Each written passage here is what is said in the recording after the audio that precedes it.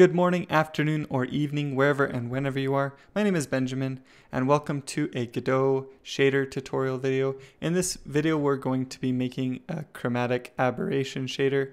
I'm not 100% sure how to pronounce it, but I think that's right. And uh, this is the effect that we'll get right here. Your shader will have some different parameters like the amount where you can lower the amount or you can just disable it altogether. You can see the slight difference there. Uh, we can make it more exaggerated like that. It will also take an offset texture where white is a maximum offset and darker values are less and less offset. So you can see this texture right here is white around the edges and darker in the center. It means that the center of the image will have less of an offset while the edges will have more of an offset. Um, but we could also use something like this as a texture um, to get kind of like a glitch effect. This is just a big scribbly texture. Um, you can see that's what it looks like. So let's get started. Let me open up Godot here and I'm going to create a new project. Let's browse, we'll do it in here.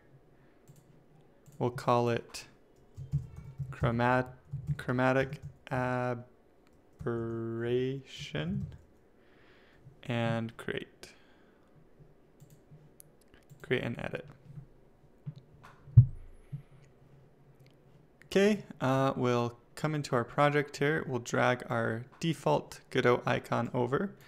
And on this icon, we'll come over into materials. We'll create a new shader material and um, then we'll double click on that and we'll do a new shader. And when we open up the new shader, it should bring up some shader code here. In Godot, you need to, um, they've changed how shaders work from to from Godot 2 to Godot 3. The new system is a little bit more flexible, I feel like, but it's still pretty easy to learn. So you first need to define a shader type we're going to define a canvas item. This is the basic shader type for um, performing uh, stuff on a 2D, like an image like this. Uh, then we're going to need a function here, void fragment. And you'll notice we're using curly brackets here. Um, that's because this is not GDScript. This is canvas. I've got issues here. There we go. This is not GDScript. This is their um, shader language. So it's not the same as using GDScript. It will be slightly different, but it's not too difficult to learn. So a fragment shader is a is basically a function that will run on each individual pixel of the shader. So um, first what we'll want to do is get the original so we're going to make a color here. So vec4 color equals, and we can make a new color with a vector 4. We'll just do 1.0, 1.0, 1.0, and 1.0, semicolon. That's our new color. And then we'll do color equals color. So all this shader does is it makes every single pixel this color, which happens to be white, right?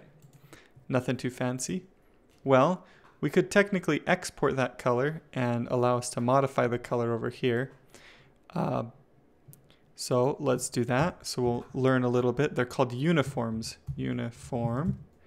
And we'll say vec4 and then um, hint color, I think equals vec4 and I think can we just do this? Let's try this real quick. Uniform vec4 color. And then we can get rid of this down here. Uh, looks like we're going to need to pass in some arguments. So 1.0 comma 1.0 comma 1.0 comma 1.0 so we'll just give it a default color of white there we go. Now if we come to our shader parameters over here, we can actually modify this color and see it update in real time.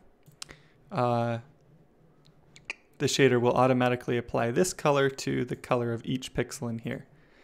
Okay, so that's how a uniform works, and that's how we're going to pass information into our shader. So the first uniform that we actually want to make will be a boolean for whether or not we want to apply this shader. Like this. Then we'll want another one, which will be a float, which will be the amount that is applied. We'll start with 1.0 as a default. And the last one will be our texture. It's a sampler 2D. We'll call it offset texture. And its hint will be white.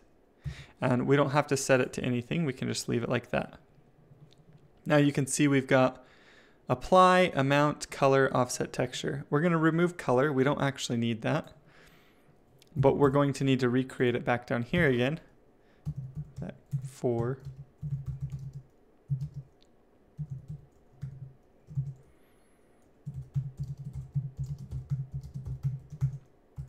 Okay. And one of the things I really like about using shaders in Godot is that it does update in real time. We can see as long as we don't have an error, it's going to update and draw, apply our shader.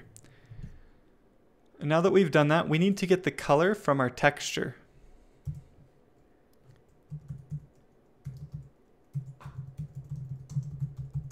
And this is actually um, not from the offset texture. This is the color from our actual the icon texture up here. This is equal to texture, texture, and UV. So this function right here takes a texture, so our icon, for example, and a UV, which is basically, um, if, if we're oversimplifying this, it's basically an X and Y position on our pixel. It's a certain position on our texture. So it takes it takes the texture and it takes a position and then it returns whatever color is on that pixel.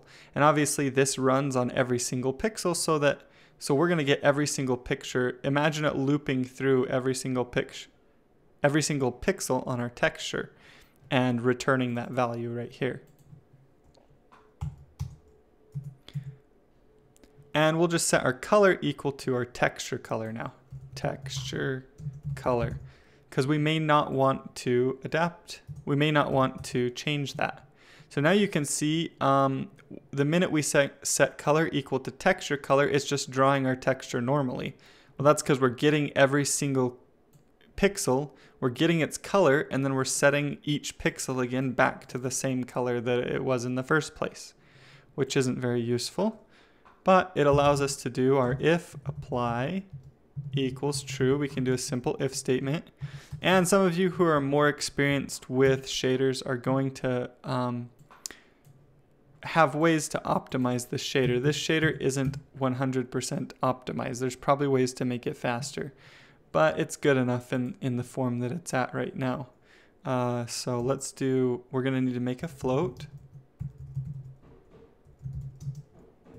This is how much we're going to offset our texture. We'll start off with amount and we'll divide it by 100 like this. We won't use our offset texture yet. This will just be an amount that we want to offset. Then we'll say color dot red. So this is the red value of whatever color we have equals texture texture and then we need to pass in a UV, right? But we're gonna get we're gonna get the UV uh, next to us, like a position slightly next to us. So we're gonna get the red value of the position next to us. So we'll say vec to uv dot x plus adjustment or adjust adjusted amount. I actually want it to be called that. uv.y and then dot red at the very end because we're getting a color from this. We're getting the texture and we're getting a color. Once again, this is not super optimized. Adjusted amount. Ad adjusted amount. Why are we still getting errors here? Divide oh, it's because this is needs to be a float, so we've got to add a zero there. Okay, then we need to get our green value, which will stay the same. Color dot red equals texture texture vect or UV and then dot green and then color dot oops this should be color dot green right here green you can see we're already changing our our thing oh we're starting to get some of the shader there you can see the red values over here and the green that's left over we don't have the blue yet color dot blue equals texture it's actually going to be the same as this right here so we'll just paste this down here except we're going to subtract the adjusted amount and set our blue value. Boom. Okay, so we've got our chromatic aberration working now. And if we click on this, we can adjust the amount. You can turn it off, right? Turn it on and off. Or you can adjust the amount, like 5. That's going to be crazy, the amount that it's adjusting it. Um, okay. So now let's make it so that we can use a texture. And uh, the, the benefit of using a texture is that you can have less of an offset in the center and more on the edges, which gives you kind of like a vignette effect, um, but with a blur, with a chromatic aberration. aberration. So in order to use the texture, all we have to do is get the white value of our texture and multiply it by our amount here. So we can just do multiply texture offset texture uv dot red. Well, I guess I'm getting just the red value. Um, so technically, it's getting whatever the red value is of the texture and not the white value, but that works just fine too. So then I'm going to come into, I'm, I'm going to actually grab that vignette and uh, drop it in my let me open up the project folder here, documents, Godot 3, and chromatic aberration. Drop it in here. Should appear down here now. So this is just a simple texture like this, right? Um, uh, darker values are going to be um, have less of an offset and white values will have more of an offset. So let's come into here. Let's set our offset up way high. So we'll set it to 5. You can see how much that offset is applied to the eyes and the nose. But if we decide to drag in an offset texture here, right here, boop, then we're getting um, much less, less offset right here on the nose and the eyes and more on the, but still quite a bit on the edges. And so if we lower this back down again, you can get a pretty good a pretty good effect that keeps kind of the center of the image uh, it keeps the center of the image more normal. Let's actually re-import this with the 2D pixel. Whoops. See, preset 2D pixel re-import. There we go. And so um, my this is kind of a fuzzy image to start with when it's in even in pixel form, but you can see how the effect is a lot less dramatic here in the center than it is on the edges. And that can help because this effect can be really hard on your eyes. Um, so you want to be careful using this effect. But having a lower a lower amount in the center makes it a little bit less hard on your eyes because then it's only in the edges of the image where it starts to get strong.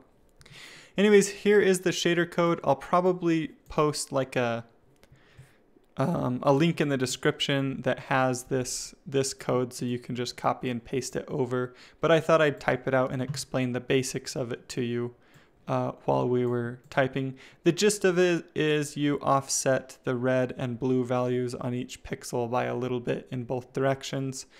And so nothing too fancy about that. Um, but hopefully you learned something in this video. I hope you enjoyed it and I will talk to you all later.